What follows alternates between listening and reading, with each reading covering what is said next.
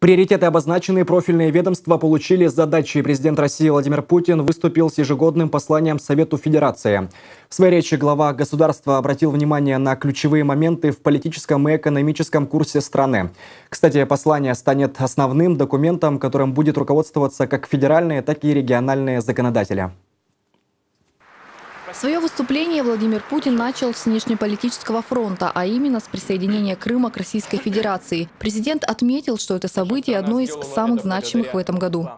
Для нашей страны, для нашего народа это событие имеет особое значение, потому что в Крыму живут наши люди, и сама территория стратегически важна, и потому что именно здесь находится духовный исток формирования многоликой, но монолитной русской нации и централизованного российского государства.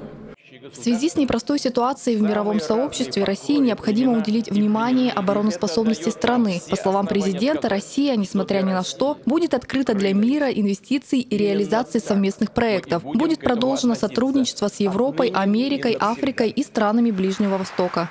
Мы будем отстаивать многообразие мира будем доносить до людей за рубежом правду, чтобы все видели настоящий, подлинный, а не искаженный фальшивый образ России.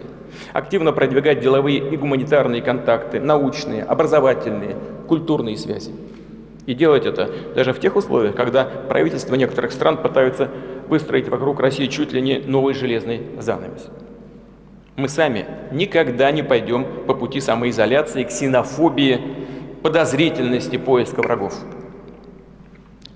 Это все проявление слабости, а мы сильны и уверены в себе. Наша цель – приобрести как можно больше равноправных партнеров, как на Западе, так и на Востоке. Для реализации внешнеполитического курса необходимо хорошо знать внутреннее состояние страны. Здесь, в первую очередь, президент возлагает надежды на крепкую экономику. Применяемые санкции должны стать толчком к развитию конкуренции. Для этого Владимир Путин призвал отказаться от системы тотального и чрезмерного контроля. Малому бизнесу предложил предусмотреть надзорные каникулы. Не проводить в течение трех лет проверок, если предприятие себя зарекомендовало и заработало хорошую репутацию.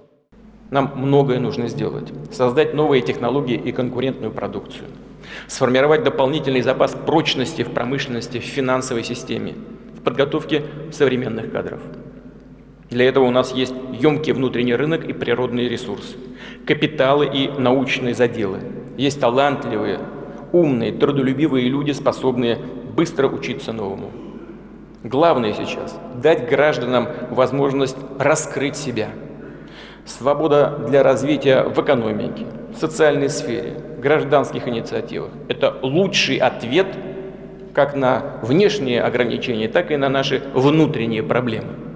И чем активнее граждане участвуют в обустройстве своей жизни, чем более они самостоятельны, как экономически, так и политически, тем выше потенциал России. Следующей темой в послании стала демография. В течение нескольких лет в России отмечается естественный прирост, констатировал глава государства. Поэтому поддержка семьи будет продолжена. В частности, материнский капитал отменять не будут. Кроме того, в 2015 году выплаты получат и в Крыму, где родится второй и последующий ребенок. Здравоохранению, как основополагающей части демографии, нужно уделять особое внимание. В этом году в глобальном рейтинге здравоохранения Россия впервые признана благополучной страной. Это государство, где средняя продолжительность жизни превышает 70 лет. На данный момент этот показатель в России превысил 71 год. Считаю, что у нас есть все основания уже в ближайшей перспективе увеличить среднюю продолжительность жизни до 74 лет, добиться новой, качественной динамики в снижении смертности. В этой связи предлагаю объявить 2015 год национальным годом борьбы с сердечно-сосудистыми заболеваниями, которые являются основной причиной смертности сегодня.